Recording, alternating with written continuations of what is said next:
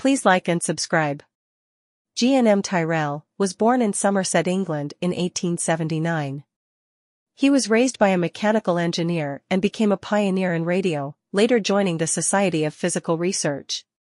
His book begins by discussing the census of hallucinations a survey conducted on the public by the Society of Psychical Research in 1889. A census that asked people if they had experienced telepathy or hallucinations during waking hours. With this study came many descriptive cases from each individual about their experience with apparitions which can be read in this book. Although he had doubted most mediums due to tricksters and fraud, he did believe in telepathy. He uses this study and others to talk about four classes of apparitions. Tyrrell goes on to demonstrate over 100 case studies of paranormal activity contributing to the defined understanding of what apparitions are.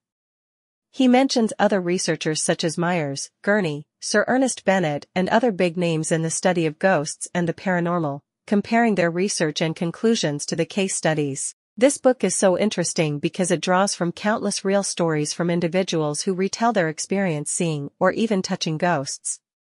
The book Apparitions is close to reading something out of a movie some scary tales of people after they died or even predicting a death before it happens, hauntings of old houses, and other scary edge of our seat tells. The book continues to discuss the difference between perception of objects and total object. If you want more information on the subject, we just released a video called Overview of Astral Projection which describes such philosophical reasoning for this understanding. The book Apparitions claims that perception is often differing based around heightened emotion, eyesight, brain function, person to person and other factors of experience which shows that an object is never the same in reality. He goes on to draw conclusions through case study that apparitions are both idea and physical, just as the real world and so through others' interaction with perception of loved ones can actually bring apparitions into the view of others.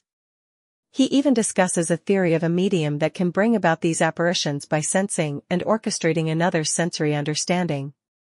Such mediums called to quid can apparently create visions in subjects of paranormal encounters.